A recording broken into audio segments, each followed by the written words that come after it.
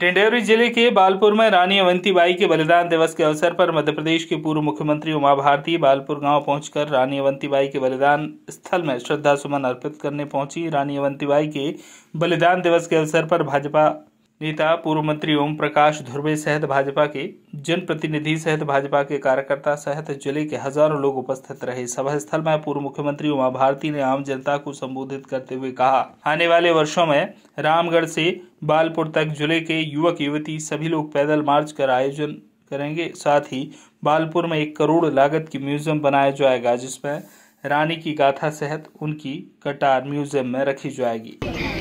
दीदी डिंडौरी ज़िले में भारी बारिश हुई है अति ओलावृष्टि हुई है किसानों की फ़सल बहुत ज़्यादा खराब हाँ। बहुत चिंता का विषय है। आ, मैं थोड़ा उल्लेख करना भूल गई क्योंकि मुझे ना पाँव में तकलीफ़ शुरू हो गई थी।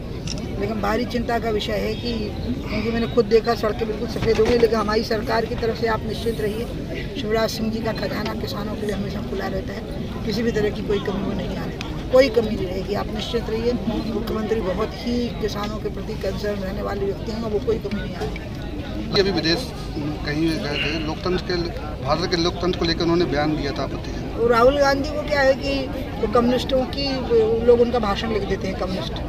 वो कम्युनिस्ट जो है वो भारतीय एकता को मानते ही नहीं अखंड एक भारत को मानते नहीं है ना कम्युनिस्ट।